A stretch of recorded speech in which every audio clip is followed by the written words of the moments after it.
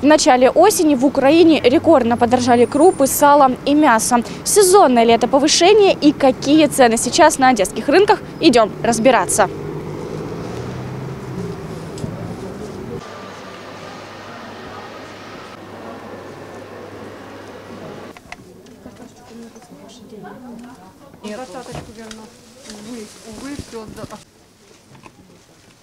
Первым делом отправляемся в мясной корпус, ведь по информации Государственной службы статистики, по сравнению с прошлым годом, осенью 2021 цены на куриное филе, говядину и свинину выросли в среднем на 20%. Дешевле, чем за 100 гривен килограмм мяса вам продадут только если ваше имя Николай, фамилия Тищенко, а в руках удостоверение нардепа. Говядинка, от, начиная от 120 и заканчивая 200, смотря какая часть. 120 это гуляш, кусочки. Шейка идет чуть-чуть дороже, лопаточка еще дороже. А это задняя часть, она идет более, видите, красивая, чистенькая, без всяких прожилочек. Она еще дороже. Свинина стоит 150-160, задняя часть 150 лопатка. Главными причинами увеличения стоимости продавцы называют подорожание зерна, которое идет на корм животным. Ну, причина в кормах. Корма дорогие, вот за этого и выросло все. И в связи с избытком мяса Меньше держат люди, меньше сейчас выращивают. Вот за этого все.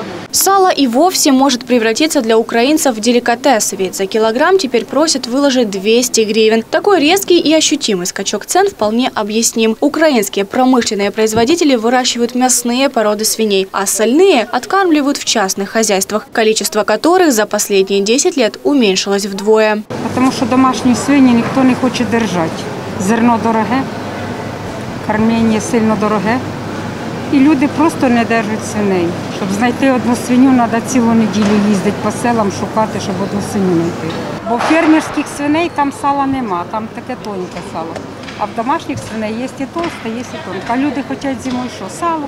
В начале осени эксперты прогнозировали также и подорожание цен на молочные продукты. К счастью, для потребителей пока обошлось. Продавцы на рынке рассказывают, что цены на молочку остаются прежними. Сметана 100, яйца 50, творог 70, 120, 140 даже есть. Цены стабильные. Летом чуть было дешевле, сейчас немножко меньше молочки, поэтому немножко поднялась. Это уже года 3-4, наверное, такая цена. Чего не скажешь о крупах. Килограмм гречки обойдется одесситам в 54 гривны. И это еще не максимум. По словам продавцов, они ожидают повышения до 60 гривен. И эта тенденция касается не только гречки. Мы не покупаем товар спустя месяц. Мы его покупаем в течение недели раза два-три. И цены растут вот в период. Э, Ну вот, сегодня гречка у меня закончится, я завтра поеду покупать. Цена одна. То есть у меня через два дня я поеду покупать, цена другая. Это, ну, гречка та же. Почему цены скачут, я не знаю, честно. И это не только по поводу гречки, это по поводу всего. Пшено было, например, 20, сейчас 25. Кускус был 48, стал 68. А вот борщевой набор пока не подорожал, ведь еще есть овощи с полей и огородов. Как только перейдут на тепличные, тогда и цена поползет вверх. У нас цены остались те же самые, что с осени. Э, Лук, морковочка, бурячок, картошечка, капусточка, все по 15 гривен. Так и было, так и осталось. Ничего не подорожало. Пока еще идет продукция с поля, еще цены такие. Потом, когда уже зимой все заложат склады, тогда уже цены будут другие. Помидоры уже идут с теплицы, с поля помидоры уже закончились, и цены нормальные. От 40, э, 35 красненькие, микадочки 40, 45, 50. Так же и было. Ну, может, на пятерку подорожали. Огурчик подорожал. Огурец уже с теплицы, отапливается теплица.